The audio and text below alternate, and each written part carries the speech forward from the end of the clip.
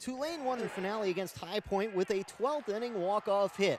It was certainly a hair-raising win, which was followed by a different type of hair-raising. That's R-A-Z-I-N-G.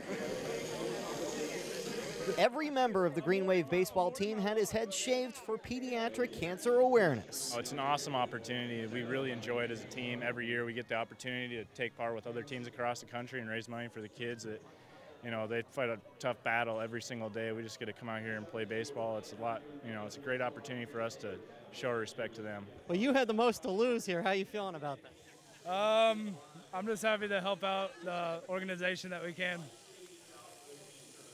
It'll grow back eventually. So I don't really look a whole lot different with it, my hair on my head or off my head. So, uh, but no, it's, it's, a lot of fun for a great cause, and um, uh, you know, it's, it's just fun being out here with these guys, this organization. The event was part of Tulane's effort to raise money for the Versus Cancer Foundation, which is dedicated to saving children's lives.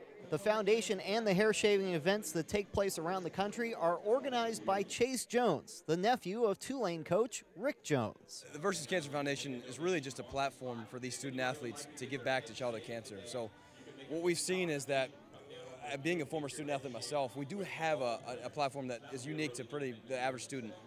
And just to use that in a, in a positive way, to make a positive impact, that's our real goal here. Well, this is for a great cause, you know, uh, to help help uh, fight childhood cancer. And, you know, it, the fact that it's my nephew's foundation, but he's doing this all over the country. You know, he was at Alabama Auburn game on Tuesday night. He's been here this week visiting with other coaches around the area.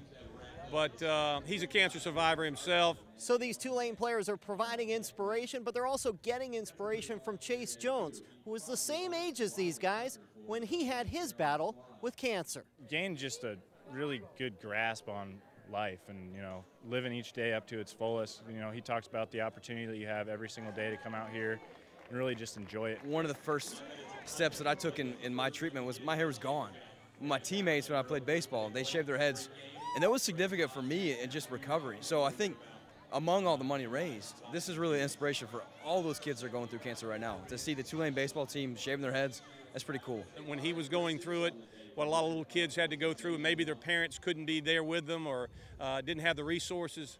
And um, he said, you know, this is something I want to do something about.